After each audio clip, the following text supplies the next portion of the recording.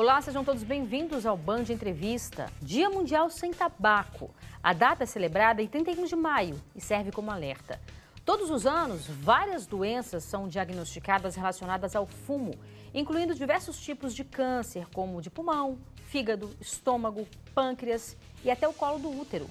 Aproximadamente 10% da população brasileira acima de 18 anos é tabagista.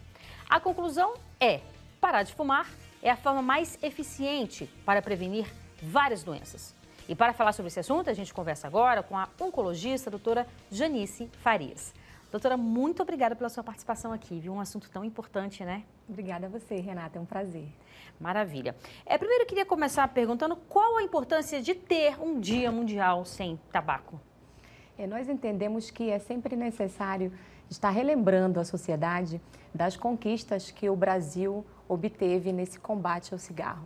E quando a gente coloca uma data específica, eh, a gente tem a oportunidade de falar sobre o tema, falar de tudo que nós já conseguimos e uhum. os desafios para o futuro para combater o tabagismo. É verdade. É, por exemplo, é, quem tem a oportunidade de ir à Europa é, é, percebe que é comum as pessoas fumarem em ambientes, inclusive, fechados. Sim. Em restaurantes e tal. E aqui no Brasil a gente avançou muito mesmo. Queria que você falasse um pouco sobre esses avanços. É, nós podemos ver já do ponto de vista de incidência mesmo. Na década de 70, um terço da população brasileira se declarava como fumante. Uhum. E aí a gente tem agora os dados mais recentes falando em torno de 9,5%. Uhum. Então, um ganho substancial na redução da incidência. É, a questão do, dos lugares fechados, a lei começou a ser implementada desde 2011 é. e isso trouxe uh, um grande ganho no sentido de até do fumo passivo, Sim. porque mesmo pacientes, pessoas que não fumavam acabavam recebendo Verdade. essa fumaça e que é tão nociva quanto. Né? Então, uhum. em 2011 começou essa lei no Brasil de que lugares fechados a pessoa não poderia fumar. É, outras políticas públicas que foram implementadas também têm relação com o aumento do número de, da quantidade de impostos, do valor do imposto sobre o cigarro. Isso também impacta no valor final do maço do cigarro. Uhum. Isso diminui uh, o uso também do uhum. cigarro. A educação, tanto é, a educação na própria mídia, a gente teve uma redução grande do incentivo ah, o cigarro em Acho filmes. Até proibida aquelas propagandas também? Não teve uma proibição de propagandas? Ex exato, né? é. Porque é. as propagandas, elas ironicamente associavam, lá no começo, né? Associavam fumo a pessoas que praticavam esportes, né? A pessoas que eram, é, enfim, que eram saudáveis, não, não que não sejam, mas a gente vai falar dos malefícios do cigarro. E também, é, eu, agora uma coisa que eu percebo, por exemplo, quando a indústria tabagista veio, é, ela foi muito atuante no, no, cinema, sobretudo, né? Sim. Então, as mulheres, era, era como se fosse uma, uma beleza, um charme fumar, né? Sim. Só que, olhando hoje em dia alguns filmes, eu percebo que isso também está tá muito presente.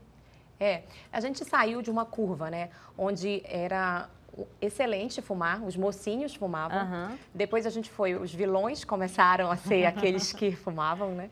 Hoje a gente tem que combater isso porque os jovens estão tendo uma exposição muito grande, principalmente relacionados ao cigarro eletrônico. Uhum. Então, o perfil anterior, né, daquele é, indivíduo que fumava na década de 70, de 80, Hoje a gente não tem mais isso, mas o cigarro eletrônico é algo atrativo para o público jovem uhum. e a gente tem que trabalhar com medidas para reduzir isso. Porque é, é isso que você falou, ele vem com uma atração, ele vem com um sabor, ele vem muitas vezes até com é, um camuflado, um charme ali, que, que, enfim, a gente sabe que não tem mais que isso também é estrategicamente elaborado, mas que faz muito mal também, né? Sim. O que nós sabemos é que ele não é padronizado. Então, a gente não hum. tem uma hum. clareza completa das substâncias que tem ali existentes. Uhum. Mas uma das principais é a nicotina. E é a nicotina que é responsável por viciar hum. o indivíduo. Então, o jovem, a, a, criança, eles estão mais aptos a novos vícios. Né? A gente, hoje a gente vê, quando a gente vai fazer esse trabalho em escolas, de falar sobre o cigarro, hoje ainda é uma parcela da população que está muito disponível, porque eles entendem que o cigarro é uma forma de se autoafirmar diante da, do seu Transgredir, grupo. talvez, É, né? de, de, de, amadurecer, uhum. né? Então, nós entendemos isso e a indústria do tabaco entende mais ainda. Uhum. É, o cigarro eletrônico, ele tem uma porção relacionada à nicotina, pode ter formaldeído, outras substâncias químicas também. É, tem um, um, saborizador, então tem de menta, é, de vários tipos, justamente para tentar abraçar aí esse público, que é um público muito apto né, a, uhum. a, a se viciar, infelizmente. E tem estudos que dizem também que, além do cigarro eletrônico ser maléfico, é, e que vem de uma maneira disfarçada, ele também ajuda a, a, as pessoas. Há um, um, um, estudo que diz, você que vai me ajudar nisso, de que a probabilidade da pessoa é, ir para o cigarro considerado normal, digamos, uhum. também é grande, né? Sim, sim. Inicialmente a gente tinha é, essa questão de que o cigarro eletrônico poderia ser um aliado a combater o tabagismo. Mas o que nós observamos na prática é que esse fundamento ele não se aplica. A maior parte das pessoas que começa com o cigarro é, comum não vai conseguir deixar de fumar ao migrar para o cigarro eletrônico, uhum. tá? O, o, vape, né? Justamente por conta disso, a gente não tem uma padronização das substâncias Entendi. que estão ali, sabe? Uhum. Então, esse conceito de usar o cigarro eletrônico para parar de fumar não é um conceito aceito atualmente. Então, assim, fica o alerta para os jovens, né, que acham que está tudo bem fumar esse vape, esse cigarro eletrônico. Não tem nicotina, né? A nicotina ela causa é, dependência Sim. e também causa vários malefícios ao próprio organismo. Sim, nós temos uma doença atualmente, é, que foi atualmente descrita, ah. que a sigla é EVALI.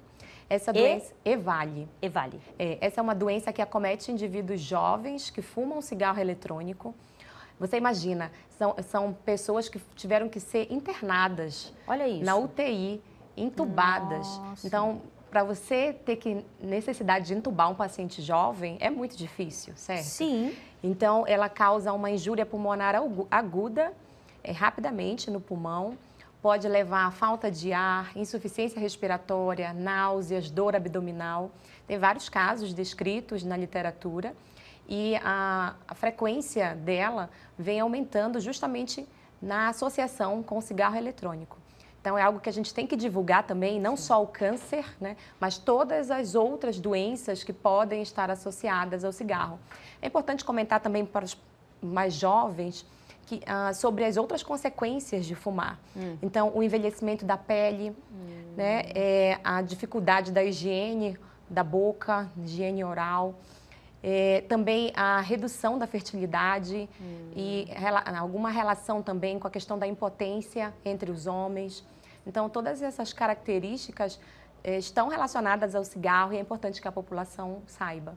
Com certeza, porque ainda existe um desconhecimento, né? Então, a gente está falando aqui é, para as pessoas que ainda é, não são fumantes ou, ou que, enfim, estão é, fumando esse cigarro que é moda, é moda mesmo, agora entre os jovens. Então, fica o importante alerta e assim, não é qualquer pessoa que está falando, é uma médica, uma oncologista que estuda sobre o assunto. Porque hoje, doutora, a gente vê muita superficialidade nas falas, né? Sobretudo nas Sim. redes sociais, né? Sim. E até fake news também. Sim. Então é muito importante a gente trazer, e esse é o papel do jornalismo, né? Jornalista e do jornalismo, trazer quem entende do assunto para falar com propriedade. É, como eu, eu tinha citado para você, é, para mim, dentro da oncologia, nós temos poucas oportunidades até de falar a respeito do cigarro, porque nós já vemos a o caminho final ali daquele paciente, daquele indivíduo que se arrepende Sim. dos anos de fumo. Então é importante que essa informação chegue antes. Antes da doença. É importante que o paciente pare de fumar antes da doença, uhum. para a gente poder reduzir toda, toda essa cadeia de eventos aí que traz tanto prejuízo para a saúde da população. Com certeza. A gente sabe que não é fácil, mas daqui a pouco a gente vai falar sobre estratégias, possíveis estratégias para quem está tentando parar de fumar, que eu acho que, assim, é, todo mundo que está fumando, claro que tem ali um prazer, se não tivesse o prazer não teria o vício, né, e não uhum. teria a continuidade, mas eu sei que, que muitas pessoas se esforçam e, e tem caminhos para isso. Então, a gente, agora a gente faz um breve intervalo e volta daqui a pouco. Não sai daí que a gente te espera.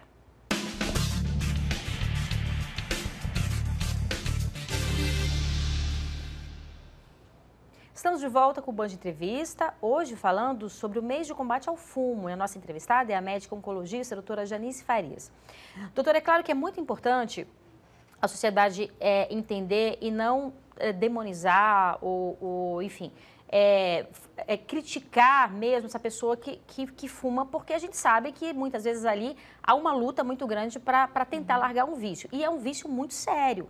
Tem pessoas também, não sei se é verdade, que dizem que o vício da, da nicotina, e eu não entendo muito bem disso, mas que às vezes é, é pior até do que você largar, é mais difícil até do que você largar a própria cocaína, né? De tão sério que é, é, é esse vício. Uhum. Sim, é importante. Hoje houve uma mudança, né, até do ponto de vista médico também, de entendimento tá. sobre o vício do cigarro. Uhum. Nós entendemos hoje que realmente é uma doença, tá? Ele hum, tem CID, então tem um fala. Código Internacional de Doença. Isso eu não sabia. Como tal, em sendo uma doença, requer um tratamento Sim. específico. Então, o primeiro passo sempre é o paciente querer parar, né? O indivíduo querer parar de fumar. Mas, em se tratando de uma doença, nós precisamos de um tratamento específico. Antigamente a gente tinha, né? Ah, basta você querer. Você tem a força de vontade. É, você, é, você é fraco. É igual é um pouco igual um pouco parecido com depressão, né? Sim, sim. Porque às vezes as pessoas não entendem. Quando você não está dentro, é, não que eu fume, mas eu tenho muita empatia, assim. É, e quando você não está dentro, né, você não consegue perceber, você não consegue ter a dimensão daquela dificuldade. Então, quem não tem depressão, às vezes olha como mimimi e não, é uma doença que precisa ser tratada como tal. Exato. Em comparação com a cocaína, o vício da hum. cocaína, nós temos uma rápida absorção do sistema nervoso central da nicotina. Em cerca de 9 a 10 segundos, ela já começa a fazer efeito. E traz o prazer. É exato, prazer. exato. Assim como a cocaína também, rapidamente. Tá. Então, são características que levam hum. ao abuso mais rápido da substância. Uhum. E também levam posteriormente a uma abstinência, que torna difícil também o tratamento. Né? Uhum. É, a gente sabe que, que a vida não é fácil para ninguém e que a gente busca, né, procura válvulas de escape, enfim, algumas coisas que, que nos dão prazer. Uhum. Mas o, é, o interessante é a gente tentar buscar prazer naquilo que nos faz bem. Né? E aí, com relação à questão do, do tabagismo, como é que seria é, um tratamento para que a pessoa pa pare de fumar? Primeiro, isso é essencial o que, o que você falou. A pessoa precisa querer parar de fumar, né? Ter consciência de que aquilo é prazeroso, sim, deve ser prazeroso, mas que aquilo está afetando é, de uma forma que a gente não consegue nem ter a dimensão, né? Todo o organismo, porque no começo nós falávamos aqui, muitas vezes tinha associação e tem uma associação direta com o câncer do pulmão, mas na verdade você está intoxicando o seu organismo todo, né? Uhum. Isso. O tratamento hoje ele é dividido em duas vertentes. A, a parte comportamental é muito importante e a parte medicamentosa. Tá? Então, o, as dicas que a gente sugere para quem está assistindo a gente e queira parar de fumar é, estão relacionadas, primeiramente, a marcar uma data, sabe? Então, é, a, a, pessoa fica, mas eu não vou conseguir, é difícil, é, eu vou esperar ter uma vida menos estressada, eu vou esperar acabar o meu curso, eu vou esperar uh, alguma coisa uhum. adiante. E a verdade, como você bem citou, é que a vida é estressante, né? Sim. Então a gente não tem um intervalo livre. é. É, então, dessa forma, a gente sugere, marque uma data. Tá. tá? Marcar uma data para você parar de fumar. Ah, de acordo com o, a carga de tabagismo que você tem, o número de cigarros que você consome, às vezes você consegue nessa primeira data já abandonar, parar de não fumar nenhum cigarro. Mas aqueles pacientes que fumam muito, mais de um maço por dia, geralmente devem conseguir em duas semanas vão reduzindo, cada hum. dia reduzindo um ou dois cigarros, até em duas semanas parar realmente de fumar. Uhum. Tá? Ah, uma outra questão é, quando você acorda, os primeiros 30 minutos ao acordar, não fume. Tá? A gente tem alguns estudos mostrando que uh, o primeiro cigarro da manhã é o que aumenta muito a questão do vício, da dependência. Então, quanto mais você postergar esse primeiro cigarro, melhor vai ser para abandonar o tabagismo de uma forma mais adequada. Uhum. E em relação aos gatilhos, é, como você citou também, você dificilmente fuma sem ter alguma coisa relacionada. Então, uhum. é a pessoa que fuma quando vai tomar um cafezinho, ou ela fuma à quando tá noite. Tá bebendo alguma bebida alcoólica. Uma também. bebida alcoólica, né? Então, existem gatilhos associados ao hábito do cigarro e é preciso que cada pessoa veja qual é o seu próprio gatilho e busque eliminá-los.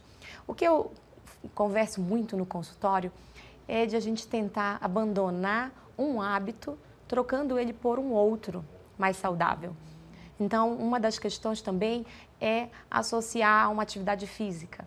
Né? Nós sabemos que a atividade física melhora a saúde de uma forma completa e é também uma fonte de prazer. Sim. Então, você estaria trocando né, um hábito de cigarro que dá algum prazer, né, uhum. obviamente, por um outro que é um hábito muito mais saudável. Uhum.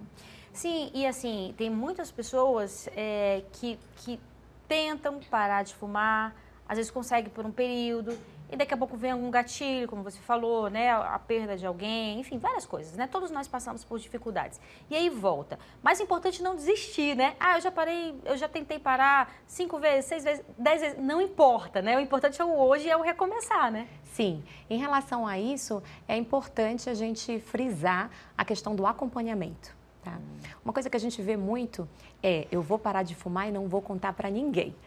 Porque se eu não conseguir. vão ter fiscais ali para me cobrar. Exato. Se eu não conseguir, vão achar que eu sou fraco, alguma coisa nesse sentido. Existe isso. E isso vai na contramão do que a gente preconiza. Hum. Você tem que avisar para todo mundo. Avisar para a família, avisar para os seus amigos. Você tem que ter rede de apoio. Legal. Tá? Então, buscar a ajuda da família, buscar ajuda médica, reduz a possibilidade de recaídas, que é hum. é o sim, assunto, né? Sim. Então, é, na hora que você tem esse apoio familiar, um apoio médico de grupos, hoje em dia nós temos aplicativos, tá? Que o indivíduo pode se cadastrar ali uhum. e aí são vários grupos e o celular fica te ajudando ali a, a manter a persistência para que não ocorram recaídas no futuro. Maravilha. Perfeito, importantes dicas. E só para finalizar, é, existem medicamentos, então, né, que a pessoa também pode tomar para. É o que? É, seria um ansiolítico? Seria. Sim, são medicamentos que reduzem a ansiedade, uhum. eliminando esse componente da dependência. Uhum. São é, prescritos pelo médico. Nós temos, inclusive, nas unidades básicas de saúde, vários grupos que oferecem tanto o tratamento cognitivo, comportamental, com a ajuda de psicólogos, quanto o tratamento medicamentoso, quando bem indicado.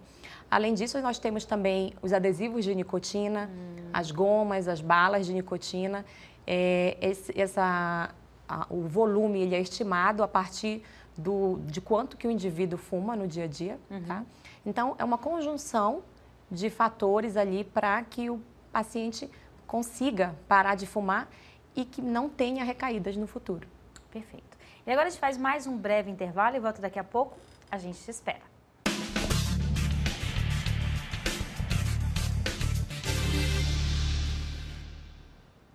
Estamos de volta com o Band Entrevista, hoje falando sobre o mês de combate ao fumo. Nossa entrevistada é a médica oncologista, doutora Janice Farias.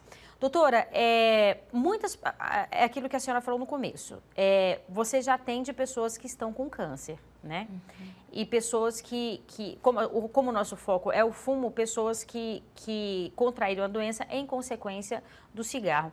Como é que é, é, é assim, é, é essa sensação, seja para você como profissional, seja para a pessoa mesmo, né? Saber que, de uma certa forma, eu não gosto muito dessa palavra, mas ela teve uma, uma certa responsabilidade, né? Diante da, da doença. Arrependimento. Uhum. É isso a maior parte das pessoas realmente se arrepende dos anos, das décadas perdidas ali com o cigarro. Uhum. É, você sabe que a oncologia mudou muito, os uhum. tratamentos, as respostas ao tratamento melhoraram muito, uhum. mas nós sabemos que existe uma parcela ainda de pacientes que vão ter doenças incuráveis. Uhum. Então, quando você vê esse sentimento no paciente, é muito ruim. Sim. Tá? Então, é, é legal até a gente discutir sobre isso, né? É, é, o mesmo sentimento que o paciente que infartou tem. Uhum. O mesmo sentimento que aquele paciente que tem um acidente vascular cerebral, às vezes, tem. Uhum. Então, quando a gente fala em prevenção dessas doenças, é porque nós não queremos que chegue a esse momento. Exato. Você imagina a quantidade de dinheiro investido das políticas públicas para o tratamento Sim. versus o quanto você poderia economizar na prevenção. Com certeza. Certo? E não só de câncer, mas nas doenças pulmonares, como a doença pulmonar obstrutiva crônica, que está altamente relacionada ao cigarro. Uhum. Então, hoje nós falamos muito de uma jornada do paciente e nós queremos atuar nessa fase inicial, na uhum. redução dos fatores de risco, na prevenção primária, para que ele não chegue a ter esses eventos que levam e aumentam tanto a morbimortalidade. Uma pessoa que fumou durante um determinado tempo e ela para de fumar, é, o, o, os malefícios já causados ao pulmão, é possível você, você é, retroagir nesses malefícios? Ou seja, o pulmão ele, ele consegue se renovar uma vez que a pessoa pare de fumar e que já causou algum dano?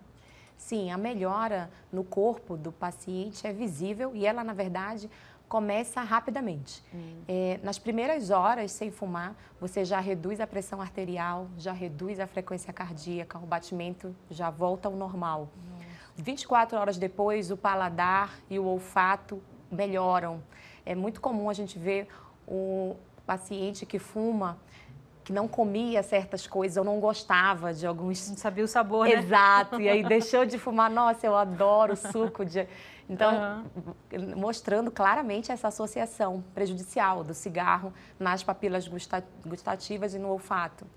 É, ao longo do tempo, com um mês, você já percebe uma melhora no padrão de função pulmonar. Uhum. Então, é aquele paciente que queria. Eu já tive um paciente que queria fazer uma uma dessas corridas uhum, de maratonas. Rua, maratonas, queria alcançar nível e foi abandonando o cigarro que ele conseguiu alcançar um nível específico. Bacana. Com um mês você já consegue. É, em relação a, a, enfisema pulmonar também, a gente tem uma redução. É, com um ano sem fumar, a gente pode reduzir em até 50% o risco de infarto Nossa, agudo do miocárdio. Olha isso. E uh, com as décadas passando, mais de 10 anos, você também começa a reduzir também vários riscos de câncer, que é, já é mais lá adiante, né? Uhum. Então, veja, toda a cadeia de eventos que você reduz ao abandonar o cigarro. Uhum. É, como a gente disse, o câncer de pulmão, ele está não vou dizer, não sei se não, não sei se eu poderia dizer que está diretamente ligado, apesar de que tem pessoas que têm câncer de pulmão e não fumam, talvez uhum. sejam raras, mas existe um, um, um, exame que consegue prevenir o câncer de pulmão, é isso? Então, esse é um assunto relativamente recente uhum. dentro da literatura médica. É importante frisar que o mais importante é parar de fumar. Tá. Tá? Todo o exame, toda a consulta, toda a técnica associada à identificação de um câncer cai por terra se o indivíduo não para de é fumar. Verdade. Isso é importante. É, por outro lado, recentemente, a tomografia de tórax de baixa dosagem é um exame que vem, sido, vem sendo executado uhum. e é um tipo específico de tomografia que tem baixa radiação. Uhum. Tá?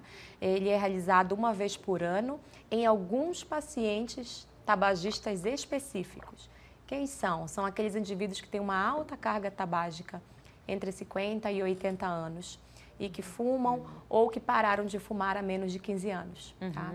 Então, é necessário que o paciente vá ao seu médico, converse a respeito dessa, desse exame de prevenção, mas que o paciente também tenha a ciência de que esse exame sozinho não vai claro. fazer, né, é, reduzir o risco de ele ter um câncer. Né? Uhum. Na verdade, só vai dar o diagnóstico precoce. Então, os melhores resultados foram observados na associação entre o exame a tomografia de tórax de baixa dosagem e o combate ao cigarro. Sim. Então a gente está aqui é, fazendo esse alerta primeiro para que a pessoa que não entrou ainda, que não fume, não comece, né? não inicie, não ache que aquilo vai, é, vai ser uma válvula de escape. Pode até ser, mas assim, os malefícios são muito grandes, né, doutora? Sim.